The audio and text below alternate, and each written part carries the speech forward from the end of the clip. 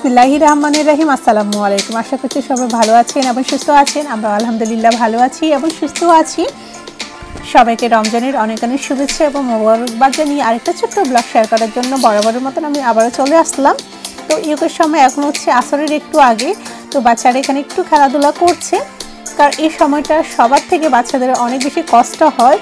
তারা ঘরে থাকতে থাকতে অনেক বেশি বোরিং হয়ে যায়। সেজন্য চেষ্টা করছি বাচ্চাদেরকে অনেক কিছু ভিতরে নিয়োজিত করার জন্য ওদের মনটা যেন একটু ভালো থাকে। গত বছরের তুলনায় এবারে রমজানটা সবার জন্য একটু অন্যরকম। আমরা বড়রা আমাদের মতো করে সময়টা কিন্তু কাটিয়ে নিতে পারি, কিন্তু ছোটদের জন্য অনেক বেশি টাফ হয়ে যায়। তো সাহাবি স্বাধীনের কথা যদি বলি, ওদেরকে আমি গেম দেখতে একদমই দিই না, আর ওদের গেম দেখা তেমন একটা অভ্যাস নেই। তো একদম দেখে না তা বলব না মাঝে মধ্যে ওরা দেখে, তবে খুবই কম। তো সেই সময়টা চিন্তা করলে বা ওদের রুটিনটা আসলে এভাবে করেছি যে ওরা এখন ঘুম থেকে একটু দেরি করে উঠে আর সকাল সকাল তেমন একটা উঠে না। ঘুম থেকে উঠে দেখা যায় যে নাস্তা করে, এরপরে তারা হোমওয়ার্ক করে স্কুলের বা বাড়তি কিছু কাজ করে তারপর দুই ভাই বোন রোজা না রাখলেও ওরা কিন্তু নামাজ পড়ে। নামাজ পড়ে, তারপরে সুরাকারাতগুলো পড়াচ্ছি। ওদের আরবিতে একটু দুর্বলতা আছে যেহেতু ইতালিতে যখন আমি ছিলাম ওদেরকে তেমন একটা আরবি আমি পড়াতে নিয়ে যাইনি। আর সেক্ষেত্রে এখানে আসার পরে ওরা আরবিটাও শিখছে। আর সেক্ষেত্রে আসলে ওদের কাজগুলো দেখা যায় যে অনেক ধরনের করে, অনেকভাবে আমি ভাগ করে নিয়েছি।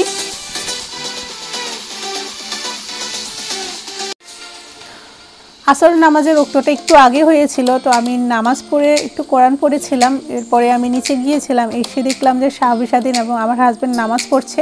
তো দেখা যায় যে আমার হাজব্যান্ডের সাথে ওরা নামাজ পড়ে। তো নামাজ পড়ার কাজটা যদিও বলি শাহাবি স্বাধীন অনেক এনজয় করে। ওদের তো খুবই পছন্দের একটা কাজ।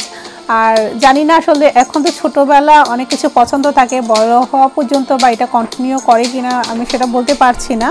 আর যদিও ওদের রোজা নেই তারপরে ওরা নামাজ পড়ছে রেগুলারলি আমি আছরে অনেক পরেই কিচেনে আসলাম ইটটা তৈরি করার জন্য।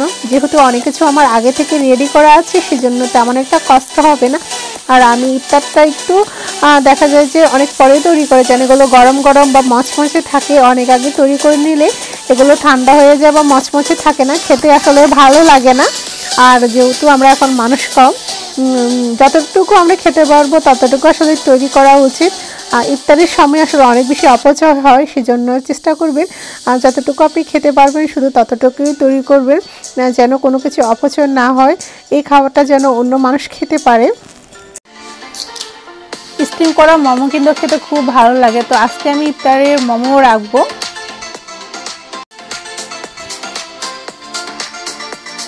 প্রথমত আমি স্প্যানিশের শাকের বড়াটা তৈরি করে নিয়েছি, এরপরে আমি এখন এই তেলের ভিতরে পেঁয়াজগুলো তৈরি করে নিব আর রোলটা তৈরি করে নেব। আর রোলটা আমার অলরেডি তৈরি করা আছে, শুধু ভেজে নিলেই হবে। আর এক পাশে আমি বুট ভাজার জন্য দিয়ে দিয়েছি।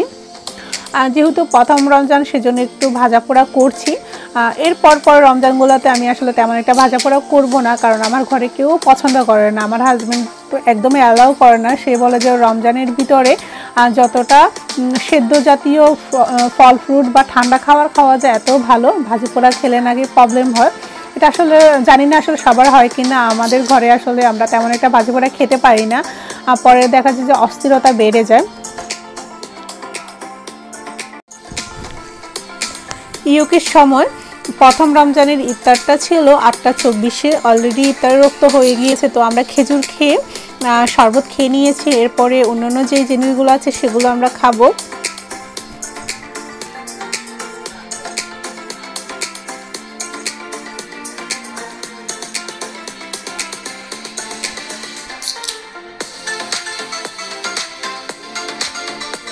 আসলে সবাই মিলে ইফতার করার মজাটা অন্যরকম, খুবই ভালো লাগে আমার কাছে।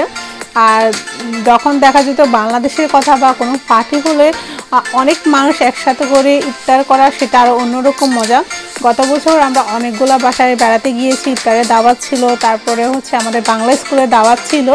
তো আমরা খুবই মজা করেছি। আসলে অন্যরকম একটা ফিলিংস ছিল ইফতারের ইফতার করা সবাইকে নিয়ে।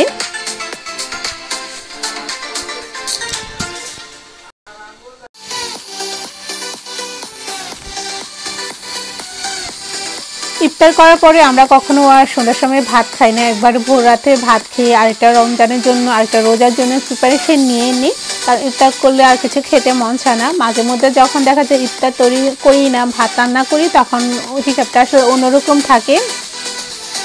তো আজকে সারাদিনের কথা যদি বলে, মানুষ বলে প্রথম রমজান বা সেকেন্ড রমজান একটু কষ্ট হয় টায়ার্ড লাগে বা পানি পিপাস লাগে, তো আমার কিছুই লাগেনি।